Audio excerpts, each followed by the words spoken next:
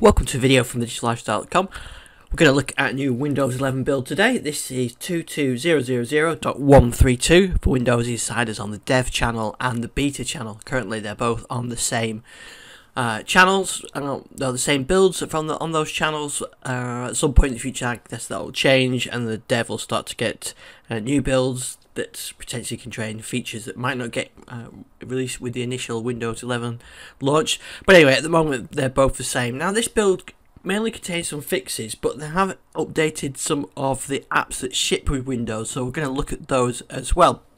So first, um, I want to talk what's the main thing from the Microsoft blog that uh, highlights a change is that um, Microsoft Chat is now available for insiders on the beta channel. So I'm here on um, my Surface Go, which is on the dev channel, but my device that's got um, a Surface laptop that's got on the beta channel has also got this chat now. So this chat's been here for a while on the dev channel, but now that's uh, available um, for uh, insiders on the beta channel as well. And you can do, uh, they're starting to roll out um, audio and video calling. So you're going to be able to um, call and create video, create audio and video calls. See, at the moment they say coming soon, but that's that uh, you'll be able to do that directly from here as well. So what about the other changes? Well, they, like I said, they updated some apps, and the first one is the snip and sketch and snipping tools have been combined, and you've no longer got two separate apps uh, so you, in the past you would have seen snip, snipping tool and snip and sketch, and now they've been combined into one application. Uh, so here is the new uh, snipping tool.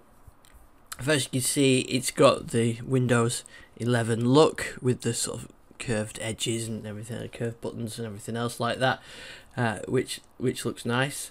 And um, you can launch it from WinShift S and let's let's do a snip and let's have a look. I do use a snipping tool a lot. Um, a very handy tool, and uh, yeah, it makes sense to have it combined into one application.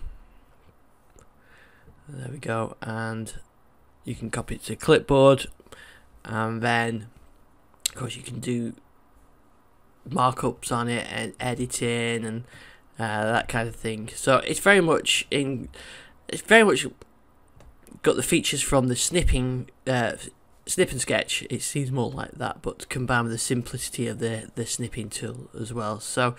Um, I do use this a lot, so I've been looking forward to trying that. And you've got the different modes, you've got the timing modes where you can have a delay on them, that kind of thing. So it's good to see that that's had some love and been updated and the other thing as well, I should say, you notice well, I'm running this in dark mode, and uh, the tools in dark mode as well. The previous ones weren't like that as well, so that's good to good to see. Calculator has been uh, up, rewritten. Uh, see uh, modern C Sharp application and yeah, looks looks nice. Again, it's got the Windows theme, it's got programmer modes, and it's got graph modes and things like that. So that's good. Now, the other one that Microsoft said has been updated is the mail app and calendar applications. So here's the new mail app. You can see um, it's, it's supporting dark mode. It doesn't look a lot different from uh, when I was using it in uh, on Windows 10, but uh, yeah, it supports dark mode and uh, it's got rounded corners and and that kind of thing. Also, the calendar's been updated as well to support the sort of Windows 11 11 style. Not a huge amount of differences with those. So those are the app updates. Um, going back to the build updates, there's plenty of things in this. There's a lot of fixes, and that's the main thing with this build as well. So they fixed some um, issues with search uh, where you type into search and uh, the results weren't coming up. Uh, they fixed some widget issues as well, where widgets weren't appearing. I still my family safety one still doesn't uh, appear to be working, but uh, they fixed some sandbox issues and they fixed some issues with bug checks, uh, as in blue screens or green screens as they are, uh, crashes when you attempt to roll back to a previous flight, and they fixed some.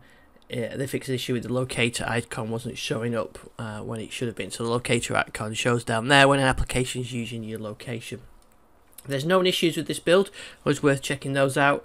Um, if you try the, the option to stop uh, getting uh, uh, preview builds is not there. There is a workaround, and some people on the on the beta channel are not seeing the new taskbar and start menu.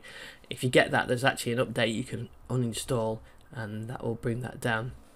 Um, some cases, Windows uh, terminal wouldn't work correctly. Uh, the taskbar uh, may flicker, and the search bar may not open at all. I did have this one, so I went to go search like that, and, and nothing happens. If you kill the search exe from um, from Task Manager, then it, it resumes and, and works fine.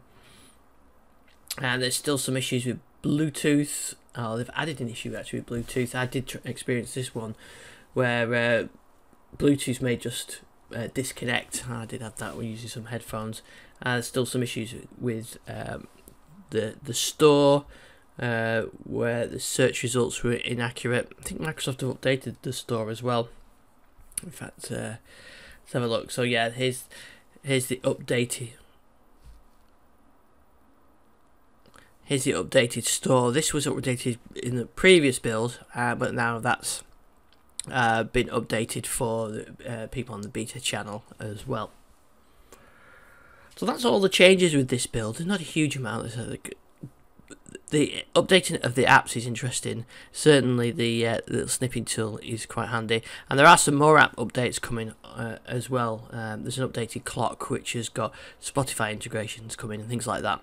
So, thanks for watching this video. You can find out more on the digitallifestyle.com or our YouTube channel, and you can get me on Twitter at isdixon.